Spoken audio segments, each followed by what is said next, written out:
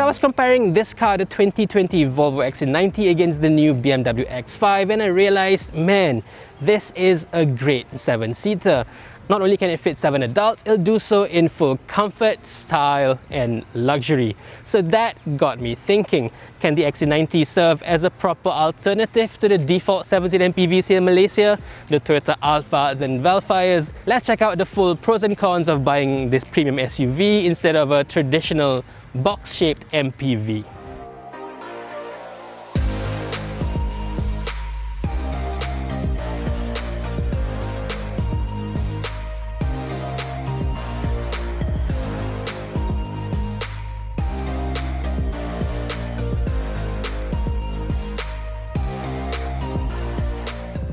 Now before you think I've gone completely mad, let's talk about the numbers. First, the most important factor of all is of course the price and in Malaysia the XC90 starts from 351,000 ringgit but I would strongly suggest you go for the top range T8 Inscription Plus that we have here and this one goes for 391,000 ringgit.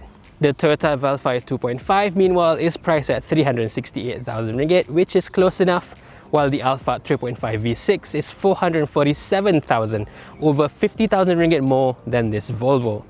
Of course, you can get the Toyotas at a much cheaper price through grey market dealers, but us at paultan.org have always and will forever recommend buying brand new cars instead of used or even grey import vehicles. I think especially for cars like this, people movers, you want a car to be fully dependable and there's nothing better than having a brand new car with a full manufacturer warranty.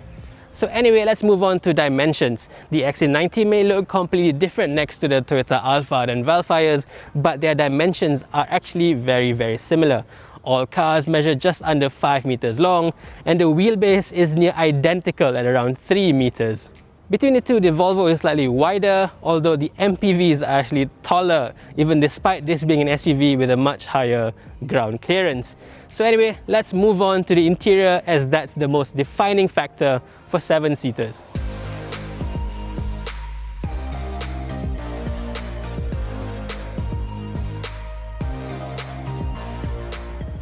First up, the MPV start with a major advantage by having big sliding rear doors. That opens up to a larger door aperture and with the lower sill height, you can quite literally just walk into the cabin with this tall SUV and its traditional rear doors, obviously getting in is not going to be quite as easy.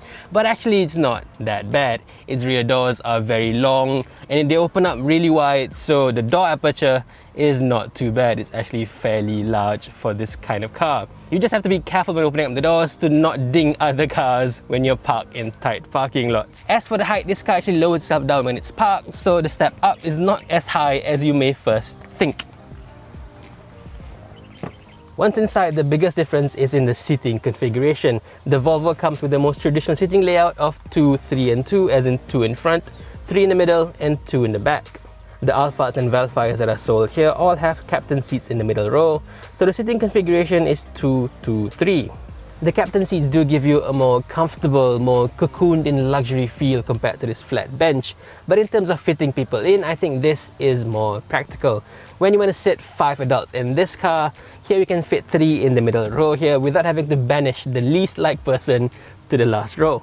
This Volvo also comes with this integrated booster seat for your child to use and you can even push it forward to be closer to the parents sitting in front.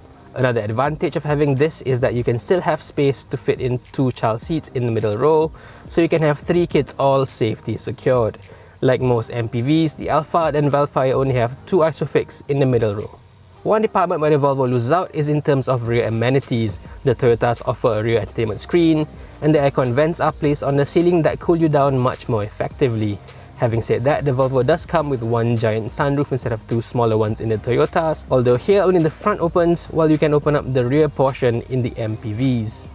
As for third row seats, entry is less than ideal for both vehicles. In this Volvo, you have to pass through this small gap, which is not easy, while in the Toyotas, you have to pass through a very narrow passage in between the two captain seats.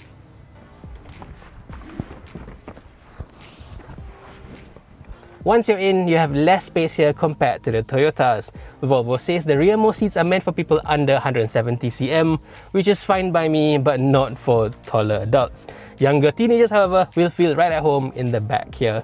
The seats are quite narrow, but surprisingly comfortable, and you also get your own set of rear aircon vents in the back here. It helps that there are only two seats in the back here instead of three in the Toyotas. Fitting three in the back of the Toyotas is definitely a struggle, especially since the cabin is obviously narrow in the back over the rear wheels, and the center seat isn't really a seat at all. But for two, it's easily more spacious and more comfortable in the back compared to the Volvo, especially for taller passengers. Now let's talk about the boot because here is the Volvo that has the edge with all the seats up. They are both about the same, although in the Toyota you can sacrifice some rear legroom for more cargo space if you need them. But once you start folding the rear seats down, surprise surprise, it's the Volvo that becomes the more practical option. It's more of a multi-purpose vehicle than the MPVs themselves. The thing is, the rear seats in the Toyotas don't fold flat, they fold up to the sides and up, taking up space. So you're left with a tall but narrow load bay. The fancy captain seats don't fold at all either. In comparison, the Volvo offers a completely flat and wide load bay, ready to swallow up all you can throw at it. So that's all the practical comparisons. But beyond all that, a lot of things fall in the favor of the Volvo, like brand image. Now I know the Alphard and Vellfires are known to be VIP cars here in Malaysia, but they're still just Toyotas while well, this wears a proper premium badge. That's clear to see on the inside where the XC90 is obviously the more refined, more luxurious vehicle. As good as the Toyota's interior is, it just can't compare against a true blue high quality premium car. That's even before we talk about the obvious stuff. The Volvo's Bowers & Wilkins sound system is truly one of the best in the world and its 400 horsepower twin-engine plug-in hybrid system is far more advanced than what's on offer in the Toyotas. Even in terms of dynamics, the air suspension system gives a more secure, more confident ride and handling package. And safety, this is a Volvo, so enough said. Now don't get me wrong, I'm not saying that the XC90 is a better people carrier than the Toyota Alphards and Vellfires.